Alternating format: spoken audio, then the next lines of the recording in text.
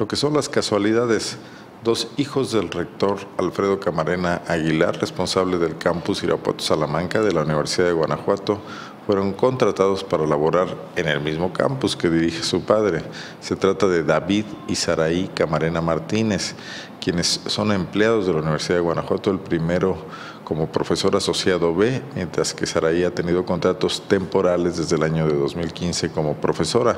Carmen Pizano ha estado siguiendo este tema, tiene la investigación sobre esta situación y está en la línea telefónica para comentarnos más ampliamente lo que pasa. Carmen, ¿cómo estás? ¿Qué tal, Arnoldo? Buenas tardes. Buenas tardes al auditorio. Bueno, pues sí, comentarte de esta contratación de dos de los hijos del rector del campus Irapuato Salamanca, de Alfredo Camarena Aguilar. Comentarte que en el caso de David Camarena Martínez, él es profesor asociado B desde el 11 de enero y el contrato termina el 10 de enero del próximo año, del 2017. Y bueno, de acuerdo a este, la información dada a conocer a través de la información pública, pues él concursó para poder tener esta plaza de profesor de tiempo completo, donde tiene una percepción de más de 18 mil pesos. Este, y también comentarte que él pertenece, o, bueno, tiene el nombramiento como miembro del Comité de Análisis de Trayectorias Académicas de la Maestría en Ingeniería Eléctrica. Él es egresado del de campus Irapuato Salamanca, es ingeniero en... ¿Electrónica? O... Es, es egresado de lo que antes se conocía como FIME, ¿no? Sí, sí, sí. Ingeniería mecánica y electrónica, ahora mecatrónica también. Sí, y también estudió una maestría en ingeniería eléctrica en la misma Universidad de Guanajuato y un doctorado en la Universidad Autónoma de Querétaro que concluyó en el año 2015. Y bueno, este es el caso de David Camarena Martínez, pero también está trabajando otra de las hijas del rector del campus Irapuato Salamanca en el mismo campus que está ahí Camarena Martínez y ella es ingeniera ambiental.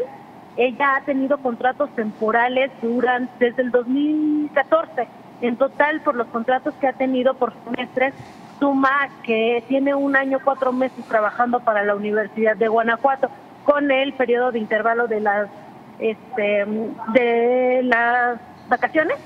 Entonces, a ella le han estado dando contratos temporales, es profesora de tiempo parcial.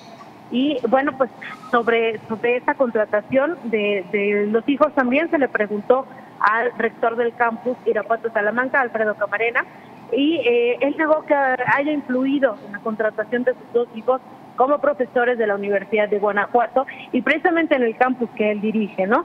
Este, eh, mi compañera Edith Domínguez tuvo la oportunidad de platicar con él y él mencionaba que eh, los comités de ingreso y permanencia son autónomos y que son presididos por profesores de alta calidad ética que no se prestarían a que él pudiera llegar a presionarlos o a pedirles que contraten a sus hijos. Pero si te parece, vamos a escuchar lo que comenta el rector del campus Irapuato Salamanca de la Universidad de Guanajuato, Alfredo Camarena Martínez, un inserto en compañía de Edith Domínguez. Regresamos después para seguir comentando, Carmen, claro. Sí, absolutamente no se puede, pues, ni, ni, ni, quiero, ni hubiera querido, ni, ni hubiera podido, ¿no?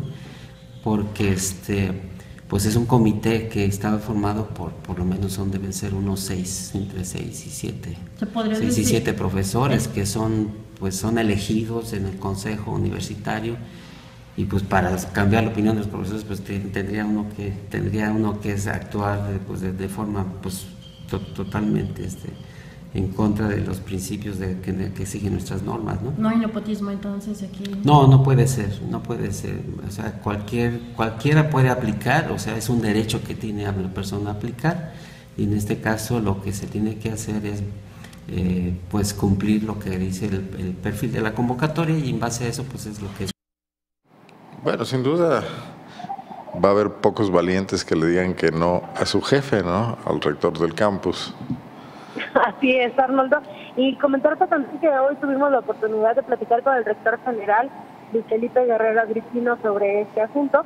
Él comentaba que eh, dentro de la Universidad de Guanajuato no hay ninguna normativa que prohíba que un hijo de un rector tenga la posibilidad de ser profesor de tiempo parcial o completo que lo único que establece la, norma universitaria es que si pertenece a un consejo, eh, algún, algún familiar tendrá que abstenerse de, de tomar decisiones cuando se considere que hubiera como conflicto de interés, cuando tuviera algún interés particular sobre el tema.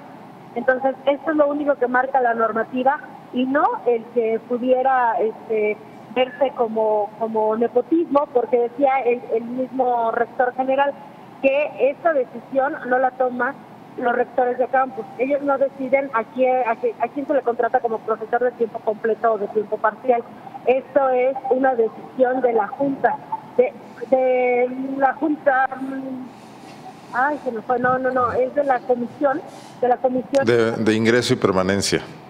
¿El Comité de Ingreso y Permanencia? Comité, ajá, el Comité de Ingreso y Permanencia, y que ese comité es presidido por el director de la división, ni siquiera por el rector. Entonces, este, que entonces ahí no podría haber una una injerencia directa. De hecho, le preguntábamos, bueno, pero el director de la división depende directamente del rector de campus, ¿no? Entonces sería como su superior, el rector de campus, al director de división, que es quien decide quién se queda y quién no, como con, con las plazas de profesores de tiempo completo y con las horas de los profesores de tiempo parcial. Pero él comentaba que no, que la estructura que maneja la Universidad de Guanajuato es muy distinta.